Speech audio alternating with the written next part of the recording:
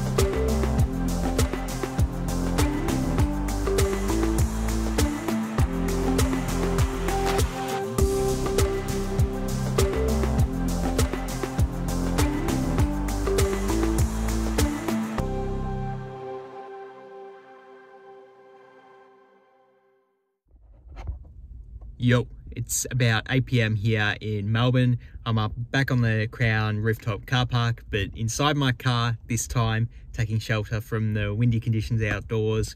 Wrapped up the session for the evening, only ended up playing 2-5. We do have plenty of interesting hands to go over with you guys, but for the moment, I'm just gonna head home and rest up, but we'll get those hands out to you guys later.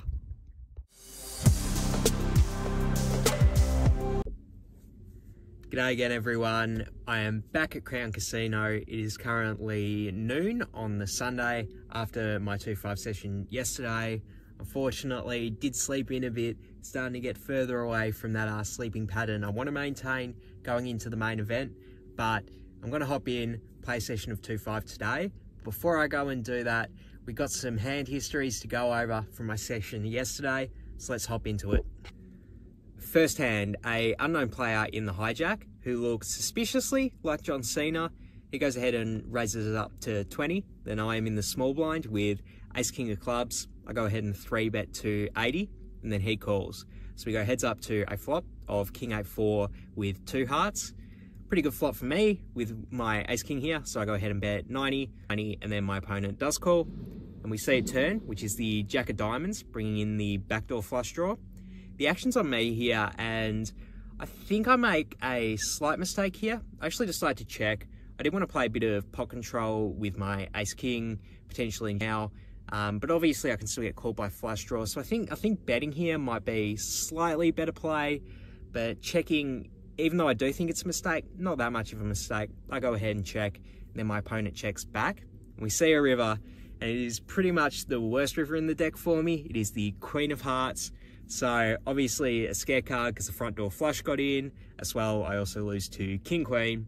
Very reasonable hand my opponent could call the flop with and check the turn.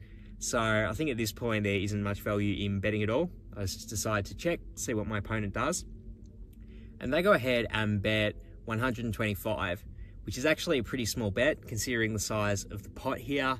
But I think I should still consider folding very heavily here. Like I said, I lose to King Queen, flushes, even like if my opponent called the flop with Queen 10, suited, something like that, it's possible.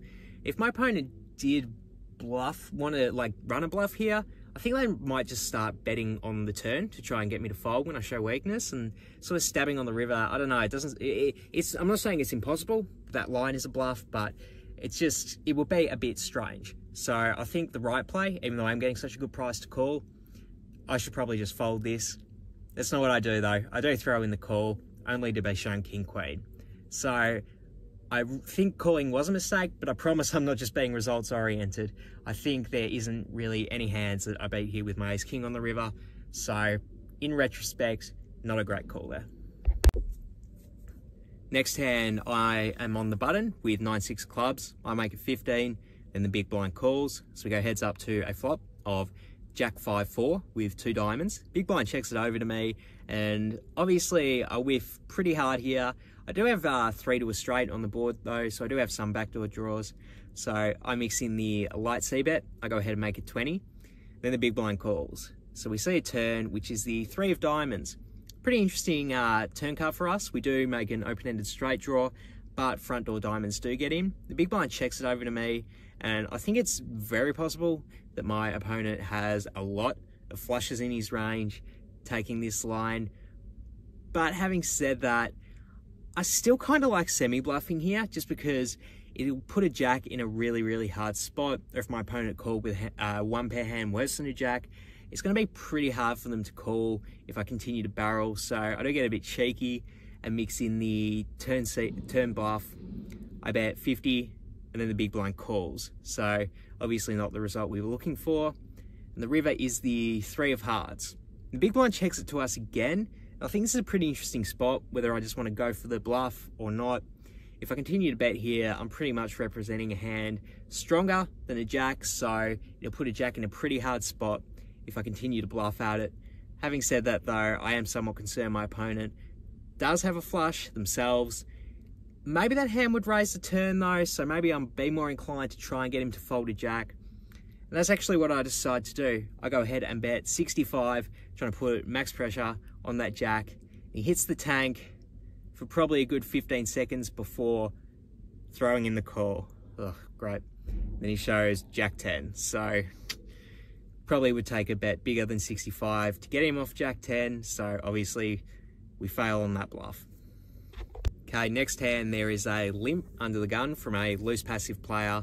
I am in the low jack with ace king. I make it 20, and then I get no less than three callers. So we are four ways to a flop of ace nine, eight rainbow. The action checks to me. I go ahead and bet 50 for value, looking to build a pot against a worse ace. Having said that, I do think checking uh, would also be a legit option, but I think betting in this game, probably a better option. I go ahead and make it 50 and then only the original limper calls. So we go heads up with him to a turn, which is the four of clubs, putting out the backdoor flush draw. He checks it over to me again. This turn card's a pretty big, pretty big brick. Obviously, there's still straight draws out there I can get value from. If my opponent does have a worse ace, ace queen, ace jack, etc., uh, obviously I can continue to build a pot against that. Before I go ahead and bet 90 and then he does call. So we are heads up to a river and the river is the ace of spades.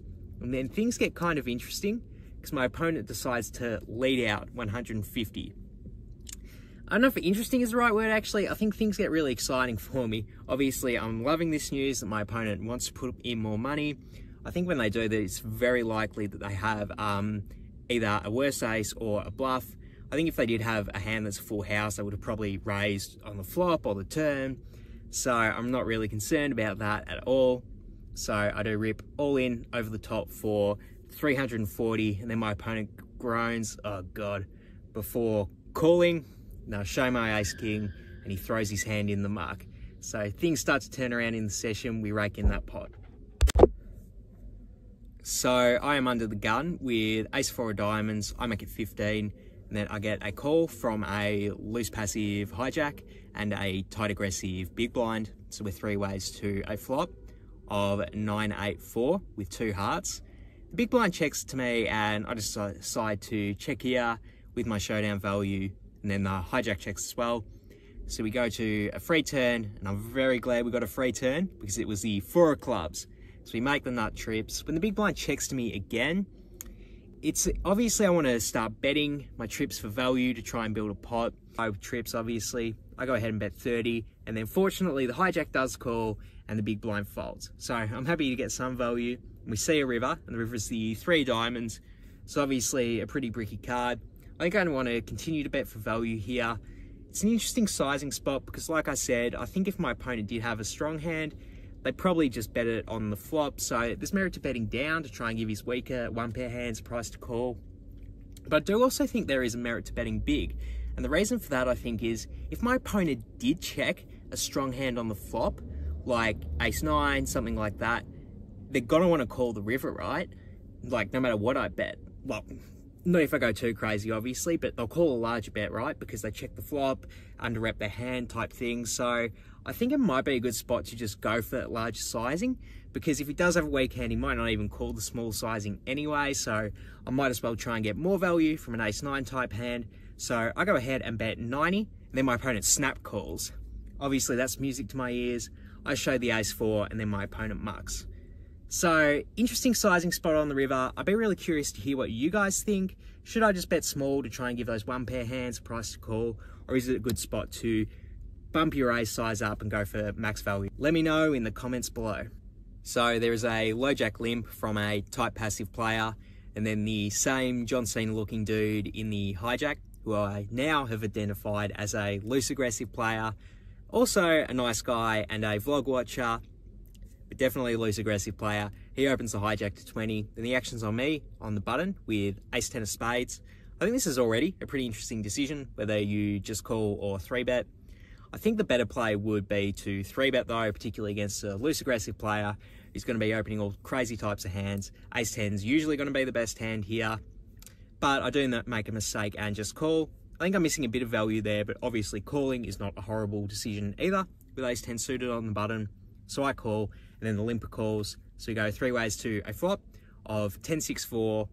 The limper checks, the hijack goes ahead and bets 25. Have a very easy call here, obviously, and then the limper folds. So we go heads up to a turn, which is the six of spades, giving us the backdoor nut flush draw. Then the hijack goes ahead and checks it to me. I think I definitely want to bet for value here. I think if my opponent had a stronger hand than ace 10, he would continue to barrel it to try and get paid off with his least aggressive image. So I feel very confident I have the best hand. So when I go for a bit of value, I go ahead and bet 40 and then he calls. So we go to a river, which is the four of diamonds. So pairs the bottom pair on the board.